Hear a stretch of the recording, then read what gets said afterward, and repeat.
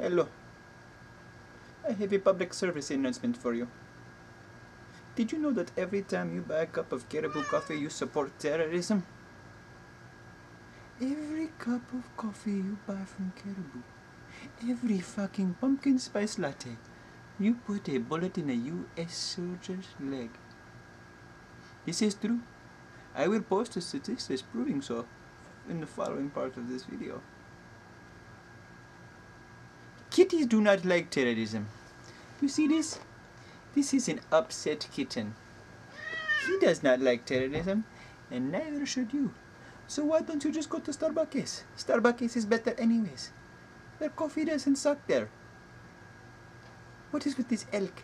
Who drinks? Who drinks elk coffee? I would not touch this stuff. You're killing America. You anti-American bastards. You sicken me.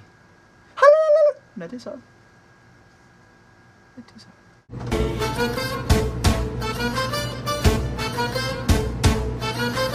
Minute by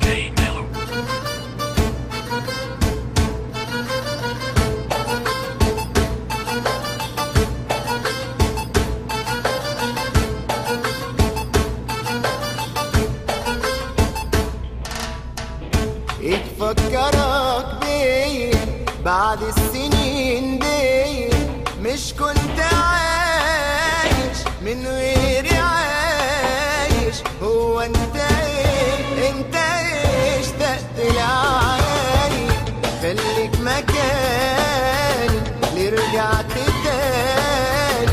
إيه اللي نابك؟